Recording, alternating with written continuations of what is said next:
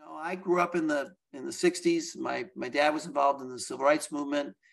You know, 1968 was a pretty bad year. You know, Dr. King was killed, Robert Kennedy was killed. Um, that we've had divided times before. 1932, the reading of the months leading up to the election and inauguration of Franklin Roosevelt, the country was on the brink uh, in both socialist and fascist uh, parts of the country were pushing, pushing, pushing. So I just think that the United States has a way, partly due to the strength of its founding documents, the Constitution and the Declaration of Independence, and the, the Civil War amendments, and the resolution of that uh, uh, difficulty, uh, to, to push through. And I also feel that if you tell poor kids and poor communities in, in America minority kids, African American kids, that there's no chance, there's no opportunity, the American dream is dead, then it will be dead because people will believe that.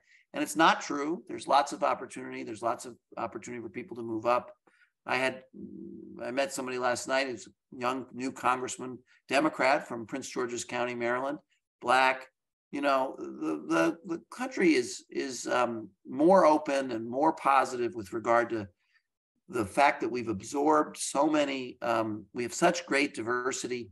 We should be positive about that and be be proud of that, as opposed to let it, making it sort of turn us against each other. So no, I'm I'm uh, we'll get through, and and we'll get you know William Faulkner said you know we not only will endure we will prevail, and that's how I feel.